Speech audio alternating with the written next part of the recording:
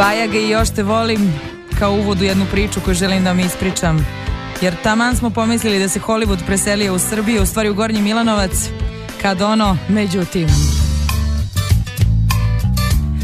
Julia Roberts ipak ne živi u Gornjem Milanovcu, iako sve novini dalje pišu o jednoj mladi koja je navodno prošle nedelje pobegla sa sobstvene svadbe, kažu pokupila sve poklone i pobegla.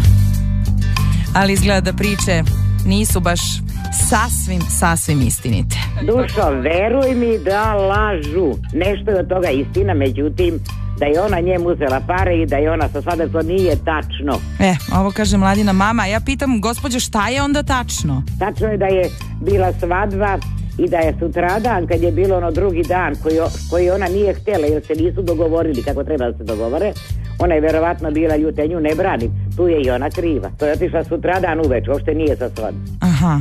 A gdje je otišla? Otišla je gore bila malo i otišla u stan. Šta otišla? Gdje je otišla?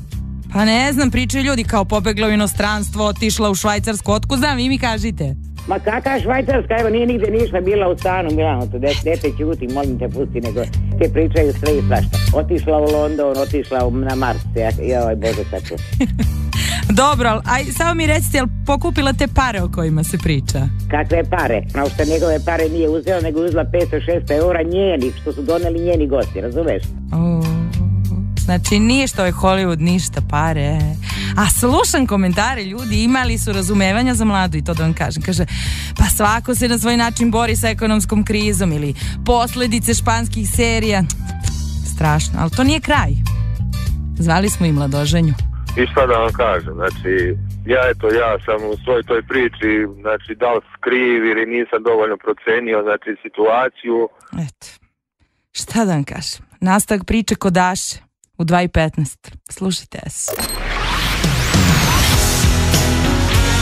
your